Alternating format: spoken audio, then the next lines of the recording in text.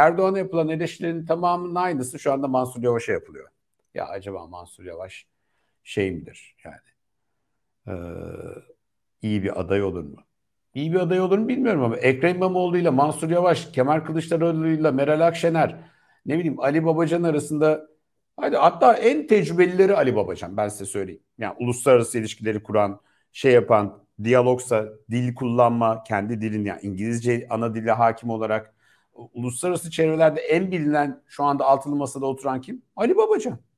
Ben 2013 yılında Londra'da yaşadım.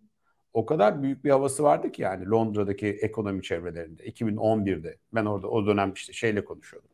Bu şir, buralarda çalışan yabancılarla, Türklerle.